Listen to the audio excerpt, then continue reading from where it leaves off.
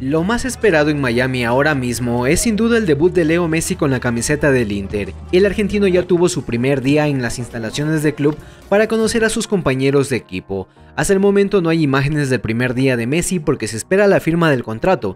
Mientras no se firme el Inter no puede hacer uso de la imagen del jugador y esta es la razón de todo el hermetismo que existe con Messi y su primer día en su nuevo club.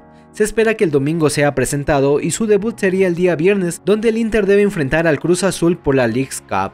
Con el detalle del debut de Messi, las entradas para este partido se han puesto sobre las nubes. Visitamos la página de ventas de entradas del Inter de Miami y hay asientos disponibles que van desde los 200 hasta los 10 mil dólares un solo boleto. Así es, esta es la revolución de la llegada de Messi al Inter. En esta página se permite la reventa legal y se pueden encontrar entradas que van desde los 200 dólares pasando por 500, 800, también hay de 1000, 1500, 2000, 4000, 5000, 6000 y la más cara que encontramos fue la de 10000 por boleto. El detalle es que además de ser elevados los precios, te permiten la compra a partir de dos unidades, es decir, si quieres asientos preferenciales para ver el debut de Messi, te costaría 20 mil dólares y a esto hay que sumarle otros 4.200 por prestación de servicios, es decir, casi 25 mil dólares para dos boletos en los mejores asientos del estadio.